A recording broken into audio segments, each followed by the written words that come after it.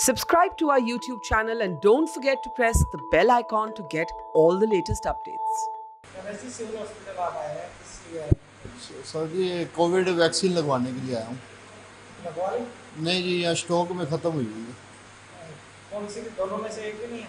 नहीं जी एक भी नहीं हुई। यहाँ पर दोनों में से कोई भी अवेलेबल नहीं है। ना कोवैक्सीन है ना कोविशील्ड है।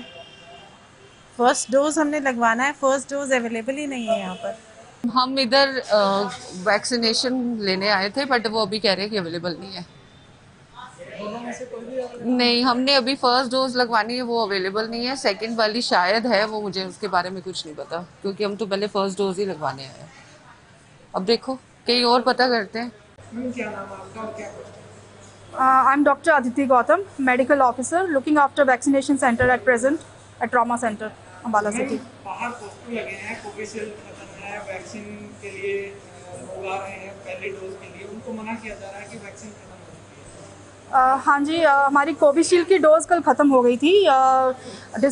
सी एम ओ साहब को संपर्क कर लिया गया है और हमारे यहाँ सेंटर में कोविशील्ड अब आने ही वाली है।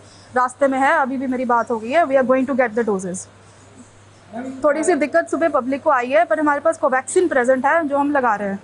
मैम लोग वापस जा रहे हैं लोगों को कहा जा रहा है कि वैक्सीन खत्म हो चुकी है। पहली डोज जो लेने आ रहे हैं उन लोगों को मना किया जा रहा है कि वैक्सीन नहीं एक्चुअली कोविशील्ड जैसे मैंने बताया शॉर्टेज होने की वजह से ख़त्म हो गई थी पर परंतु कोवैक्सीन उपलब्ध है जो प्रेफरेबली सेकेंड डोज को हम लगा रहे हैं।